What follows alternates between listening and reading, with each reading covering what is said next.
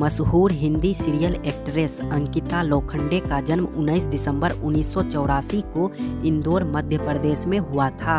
इसके पिता का नाम शशिकांत लोखंडे है और इनकी माँ का नाम वंदना फैंडिस लोखंडे है। अंकिता लोखंडे का एक भाई है, जिसका नाम सूरज लोखंडे है और इसकी बहन का नाम ज्योति लोखंडे है। अंकिता लोखंडे ने 15 दिसंबर 2021 को विजय जैन के साथ शादी के बंधन में बंध चुकी है। अंकिता लोखंडे पांडे की हिंदी सीरियल लिस्ट। पहले नंबर पर है पवित्र रिश्ता।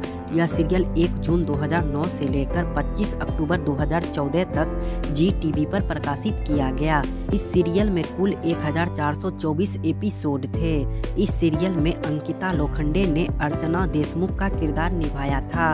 वैसे इस सीरियल में अंकिता लोखंडे, सुशांत सिंह राजपूत, विक धनंजय, मृणालिनी त्यागी करणवीर मेहरा थे। दूसरे नंबर पे है इकथी नायका। यह सीरियल 9 मार्च 2013 से लेकर 28 अप्रैल 2013 तक लाइव ओके टीवी चैनल पर प्रकाशित किया गया। इस सीरियल में अंकिता लोखंडे ने प्रज्ञा का किरदार निभाया था।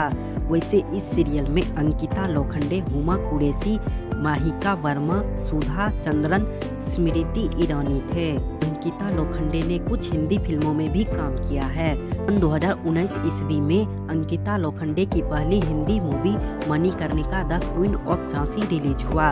इस मूवी में कंगना रनावत, अंकिता लोखंडे, सुरेश ओबराय, अतुल कुलकर्णी, कुलभूषण खरबंदा थे।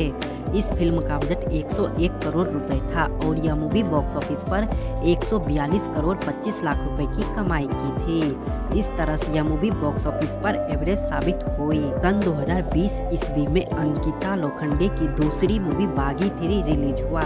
इस मूवी में टाइगर श्रॉफ, श्रद्धा कपूर, अंकिता लोखंडे, रितेश देशमुख, विजय वर्मा थे। इस फ़िल्म का बजट पचासी करोड़ रुपए था और यह मूवी बॉक्स ऑफ़िस पर एक सौ सैंतीस करोड़ 14 लाख रुपए की कमाई की थी। इस तरह से यह मूवी बॉक्स ऑफ़िस पर एवरेज साबित हुई। सन 2023 ईस्वी में अंकिता लोखंडे की तीसरी movie the last coffee release हुआ। इस मूवी में अंकिता लोखंडे, शोएब शाह, अहमद हर हास थे। यह movie O T platform Zee five पर रिलीज़ किया गया। वीडियो अच्छा लगे तो वीडियो को लाइक, चैनल को सब्सक्राइब ज़रूर करें। धन्यवाद।